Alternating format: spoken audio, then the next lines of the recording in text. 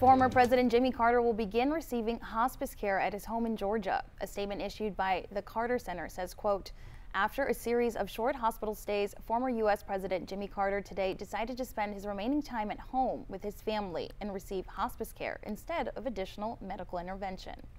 Carter, 98 years old, was diagnosed with melanoma back in 2015, but that spread to his liver and brain, but was later declared cancer-free. He was elected the 39th president in 1976, serving one term, losing in 1980 to Ronald Reagan. In 2002, he was awarded the Nobel Peace Prize.